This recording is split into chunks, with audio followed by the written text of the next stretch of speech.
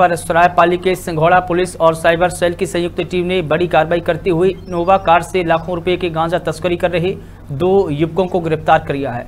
Police अधीक्षक को मुखबिर से सूचना मिली कि ओडिशा से अवैध मादक पदार्थ, गांजा सफ़ेद, एक रंग की इनोवा कार में ओडिशा से महासमुंद होते हुए महाराष्ट्र की ओर जाने वाला है। तभी ज़िले में प्रवेश करने वाले समस्त पॉइंटों पर पुलिस बल तैनात कर संदिग्ध वाहन की जाँच की जा रही थी। इस दौरान इनोवा कार को धर दबोचा है। वहीं मौके पर 80 पैकेटों में कुल 80 किलोग्राम गांजा मिला है। वहीं गांजे की कीमत 20 लाख रुपए बताई जा रही है।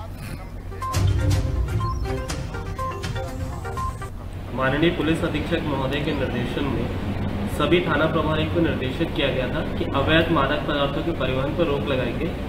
जिस क्रम में सिंगोड़ा पुलिस एवं साइबर सेल द्वारा संयुक्त कार्रवाई करते हुए एक इनोवा कार को जो उड़ीसा संबलपुर से महासमुंद होते हुए महाराष्ट्र की ओर जा रही थी गांजा परिवहन करते हुए पकड़ा गया है। सर गाड़ी में कितना गांजा मिला? कितने आरोपी थे? इनोवा कार में 80 किलो गांजा पकड़ा गया है जिसकी कुल कीमत 20 लाख रुपए है। आरोपी कौन है सर? कहाँ से ला रहे थे? क्या है? अ, इस गांजा परिवहन की कार्रवाई में दो आरोपी पकड़े गए हैं जिनका नाम है, एक का नाम करण है और दूसरे का नाम है मोहन पांडुरंगा।